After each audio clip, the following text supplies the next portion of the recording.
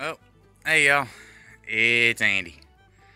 Y'all, went to Tractor Supply, just got back a few minutes ago for, uh, well, a whole bunch of fencing and T-posts and stuff for, uh, something that's coming in the really near future. So anyway, videos on all that right there will be out for long. But, that is not what this video is about. Like I said, I went to the Tractor Supply, y'all. And well, in normal redneck country boy Andy fashion, I came home with something else too. So let me show you. Yep, that's right, y'all. I brought home six little baby ducks. Ain't they cute, y'all?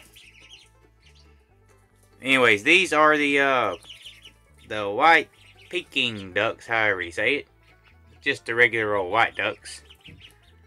But anyways, I think they cool. I got six of them up there at the tractor supply, so they are all set up with their heat lamp and food and water and everything in here. In their temporary little brooder pen slash bathtub right here. So, ain't they cute, y'all? I got baby ducks. I am happy. Yep. That's right, y'all. Ducks. But anyways, like I said, um, CG actually went to the tractor supply with me. She's the one that actually got me the ducks because she seen me sitting there looking at them. So it's all her fault. but anyways, I'm enjoying my new little baby ducks so far.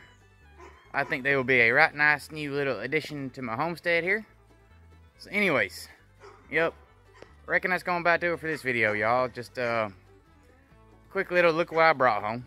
so anyways, I've got to get my butt to work putting in all that fencing in over yonder in the back of the truck. So anyways, thank y'all for watching. God bless. Hope y'all have a good day. And I will see y'all on the next video.